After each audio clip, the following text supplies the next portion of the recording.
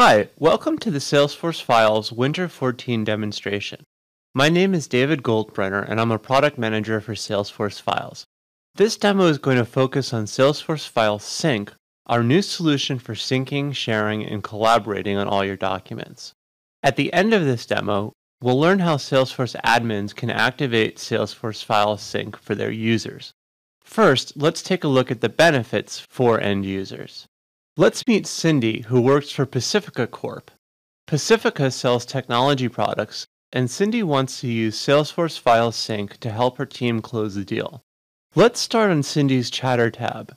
If we click on the Files icon on the left-hand side, we can see there's a new filter called Synced. Before we look more closely at this, let's switch over to the Salesforce Files tab where we can get a better view of Cindy's world of files. The first thing you'll notice is that the filter layout on the left-hand side has changed to be more streamlined and efficient. There's also a new filter, Synced. If we click on this, we see that Cindy has synced three folders in one file. Of course, we encourage users to sync however many files and folders they work with on a regular basis, up to thousands if necessary. Let's take a look around the Files tab. In addition to the synced filter, there is a link in the upper right hand corner that allows Cindy to download the Salesforce Files Sync desktop client. If she clicks on this, she sees a dialog instructing her how to download the desktop client. We're not going to do this right now since she already has it installed. Now let's take a look at Cindy's desktop. In the Windows system tray, we see the Salesforce Files Sync icon. If we right click on it, we see a menu with all of the features you would expect in a file sync product. If I click Open Salesforce Files folder, I'm taken directly to Windows Explorer with the Salesforce Files folder selected. We can see that Cindy has the exact same files and folders here as she did on the web. Finally, she also has these files and folders on her mobile device. Any file she adds in any one of the locations will sync to all the others. Let's see a sync in action. Cindy has been working on an important product brochure that will help her team close a deal. She's going to drag it into the Salesforce Files folder.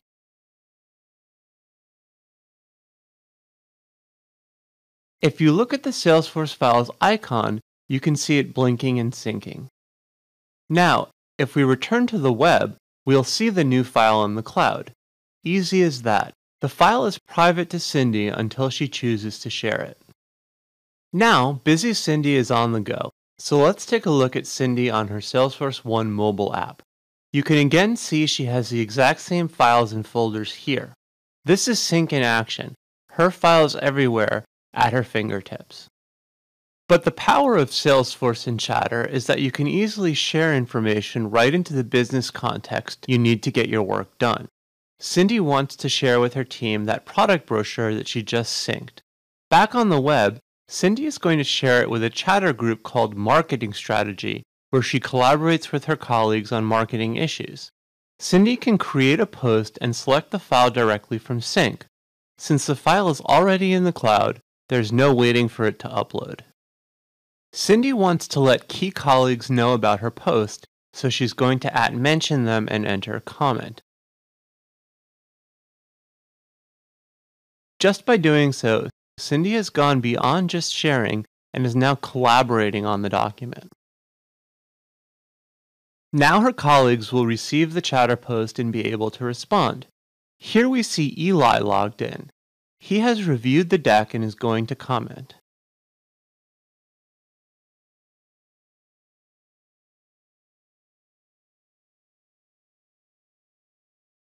Now Cindy sees Eli's comment and decides she likes his advice.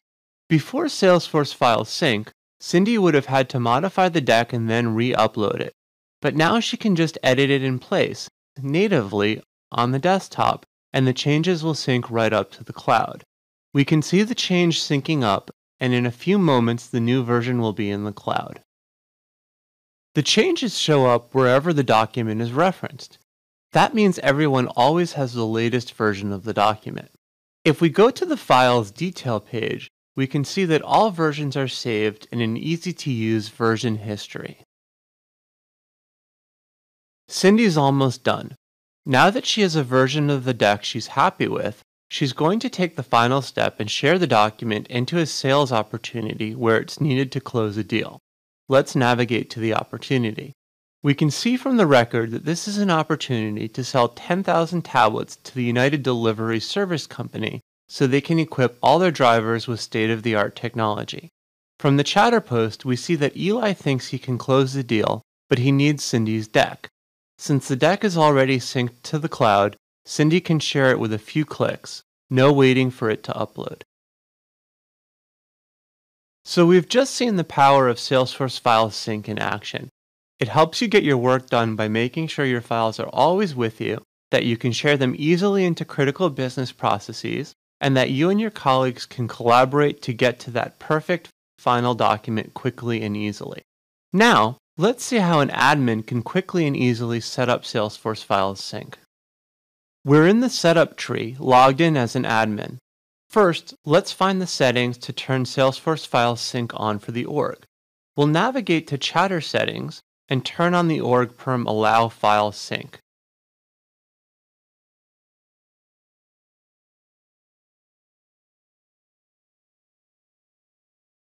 Since it's already on for this org, we won't make any changes.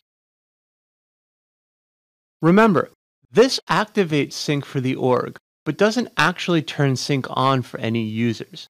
You have to take another step and turn sync on for selected users using permission sets or for all users on a profile. We'll look at both methods. To activate sync for a profile, navigate to the profile and turn sync on.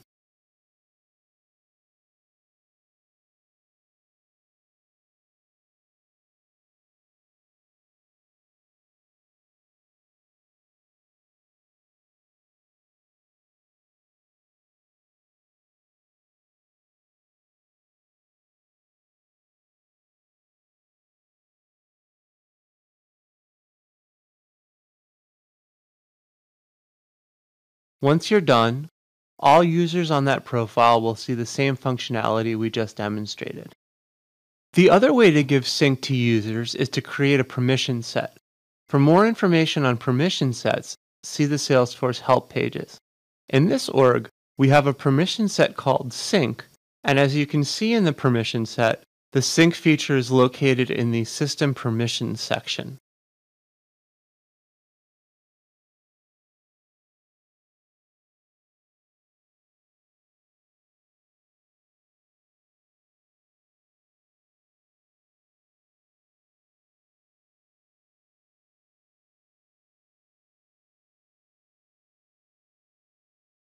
Once the permission set is created, you can assign it to users in the normal way.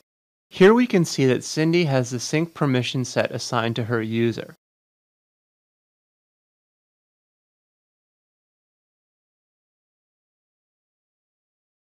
Again, if you need any help, check out the Salesforce Online Help.